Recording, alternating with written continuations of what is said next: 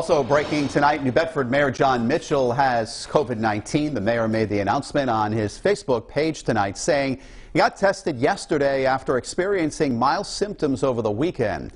The mayor says it's unclear where he contracted the virus. His wife and daughters have tested negative, as have all of his staff members. Mitchell says he will continue to work in isolation at home through next week.